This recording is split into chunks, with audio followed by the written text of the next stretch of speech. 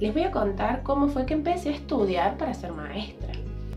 Em, yo empecé porque realmente me gustaba formar parte y acompañar a los niños en todos los momentos en que ellos empezaban a crecer. Me gustaba mucho acompañarlos, eh, estar tiempo con ellos, cuidarlos.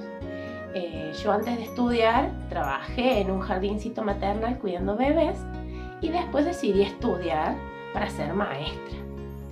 Eh, estudié mucho, mucho, mucho en un quillo, me hice muchas amigas y ahí conocí a la señora Betty. La señora Betty era maestra mía en el profesorado donde estudian las señas, porque las señas estudiamos mucho para poder ser sus maestras.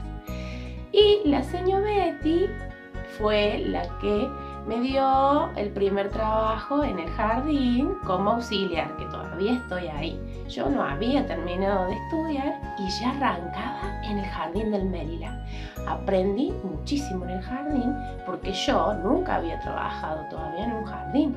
Así que mientras yo iba estudiando, también iba creciendo porque veía cómo funcionaba un jardín, cómo trabajaban los niños, cómo jugaban, cómo aprendían día a día.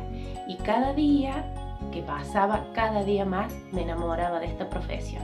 Entonces ahora continúo en el jardincito, continúo con ustedes y continúo estudiando también mucho más para poder ser la mejor maestra posible para todos los niños que vienen. Les mando un beso. Chao.